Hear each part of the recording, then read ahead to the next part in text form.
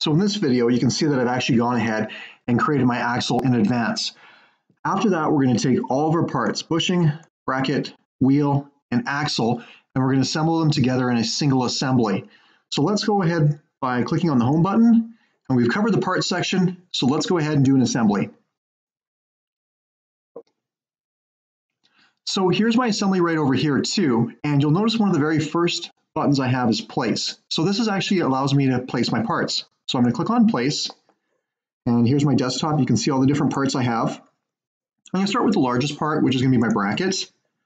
Click on open, left click, and then I'm just going to do a right click, OK, to accept that parts. Let's go ahead and click on another part. Let's grab my axle, open,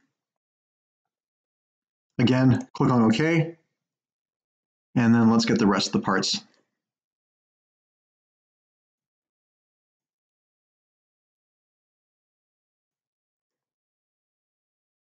As far as my bushing, I actually need two of these. So I'm just going to go click, click, right click, OK. So you'll notice that we actually have uh, joint or constrain. We're going to be using constraints. Constraint is just basically trying to get one part lined up with another part. Now, when you constrain something, you can actually constrain it by surfaces or by axes. So what we're going to be doing is leaving the default right over here because we want everything mated according to axes. And so let's do that by going ahead and I'm going to kind of take my mouse and put my mouse over this axle just like this and click on that so I can see the lengthwise dotted line. And come over here and see if I can actually just hover over and get the uh, uh, axis as well too for this bracket. And there it is. You can see that they're mated together according to axes. Now you'll notice that I'm kind of moving this and you kind of see that it can only be moved and constrained or tied together uh, essentially one way. So that's going to be for that one. Okay, let's go ahead and do the bushings next. So again, constrain. Try finding the long axes, left click, coming over here. When I do click on OK, I'm still going to have to take this bushing and I'm going to have to sort of move it as best as I possibly can so it's flush. In the real world, what I'd probably do is I'd probably end up putting a little weld in there and packing it with grease so there's less friction, friction as the uh, wheel uh, revolves. Okay, this one's gonna be a little bit different. I'm gonna actually have to rotate this so um, this end is gonna be lined up on this side. Here's what I mean. If I don't do that, and I go ahead and try and click on OK, you'll notice that when I move this, you can see that this part should be on the other side. So let's go ahead and put that back the way it was. So in order to sort of rotate it, I'm just going to grab this button right over here called Free Rotate. And when I do that, I'm just going to try best rotating it so it's kind of in the orientation that it's going to be constrained. That should work. Now I'm going to go constrain, find my long axis here, click on OK, now when I move this back, I can get this just flush fit, just like that. Almost done. One more left. So we want to constrain this through the long axis. And click on OK and grab the wheel and move it somewhat like that so it's in the middle. Okay, let's just do a quick revolve. Uh, it's not perfect, but I can sort of play around with this ever so slightly.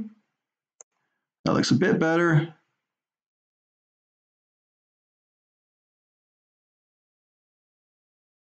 And that should do it just like that.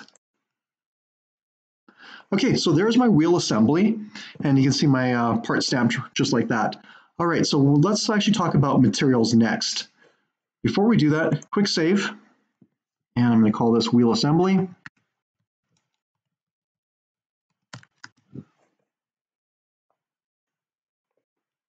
Let's go yes to all and click on OK. Okay, so let me go into the bushing here.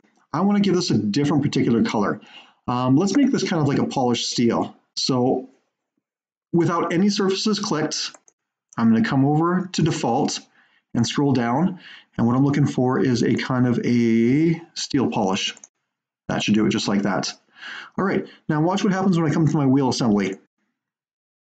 Nothing happens until I do a quick save update, then come over here and you'll notice that this is now actually brushed. So same thing with our brackets. Without any surfaces selected, I'm going to find that brushed steel, or sorry, polished steel.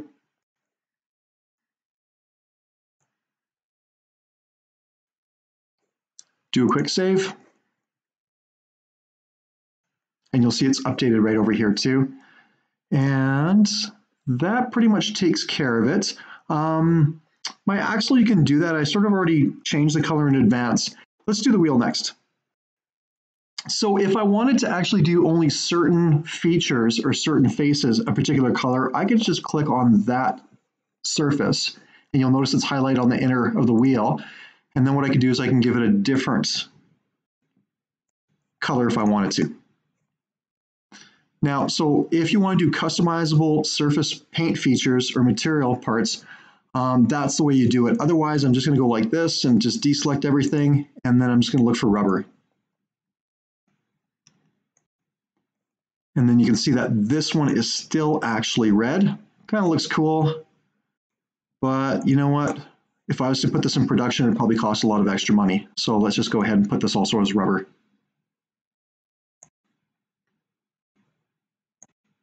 There we go. So let's click on save.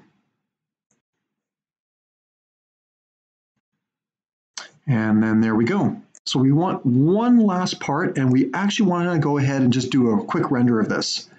Now rendering in Autodesk Inventor is very, very easy after you've applied your materials. Just requires us to specify a few settings and then we can just save the image afterwards. So let's go ahead to the View tab. By clicking on that, we want to change the visual style.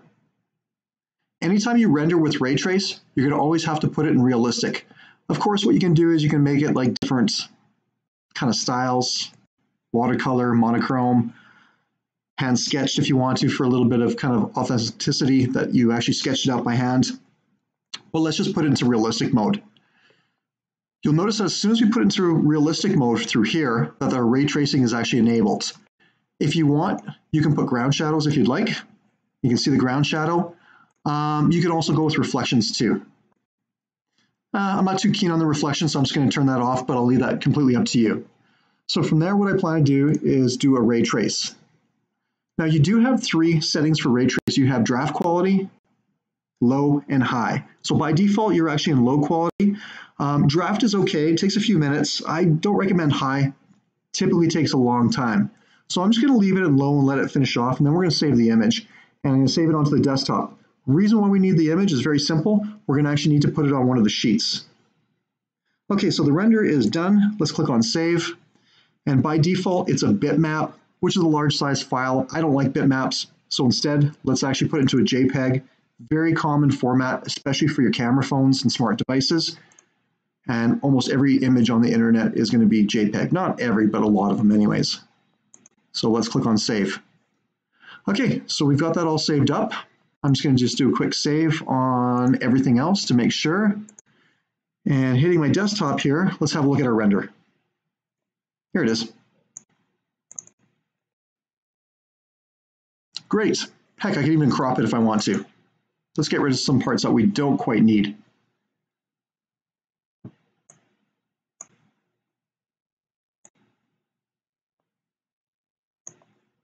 That should do it.